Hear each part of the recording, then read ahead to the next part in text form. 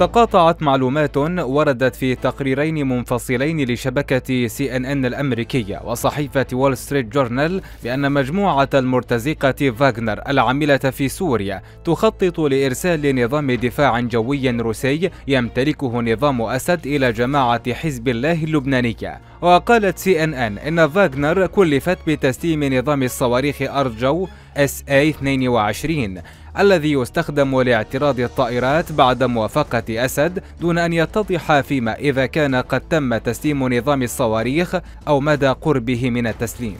من جهتها فقد سارعت روسيا لنفي مسؤولية فاغنر محاولة التنصل من دعمها لها. باعتبار فاغنر ميليشيات إرهابية عابرة للحدود تمتهن سياسة القتل والارتزاق وزعزعة الأمن والاستقرار وضرب السلم الدولي ولا سيما في سوريا.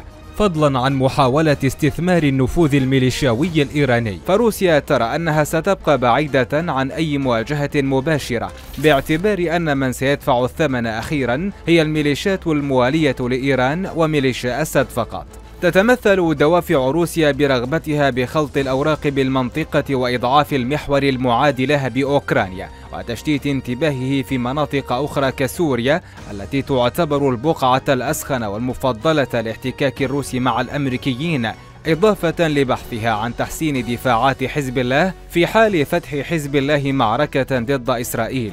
ويبدو أن حالة التوتر البارد بين روسيا وإسرائيل قد لعبت دورها ولا سيما بعد اتهام روسيا إسرائيل بإرسال أسلحة إلى الأوكرانيين. توتر رافق الموقف الروسي من الاعتداءات الإسرائيلية على غزة.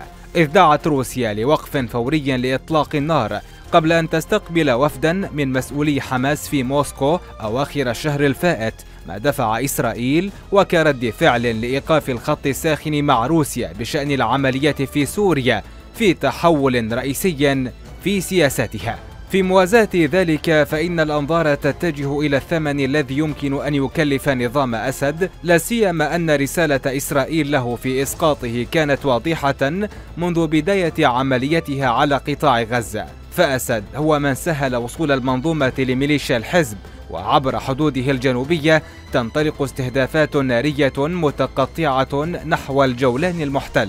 لكن السؤال الأبرز هل سيستطيع أسد النجاة من تداعيات الخطوة التي قام بها باعتبار أن له سوابق في تقديم تنازلات لإنقاذ نفسه عند كل حدث يهدد نظامه أم ستكون تلك الخطوة هي القشة التي تقصم ظهره؟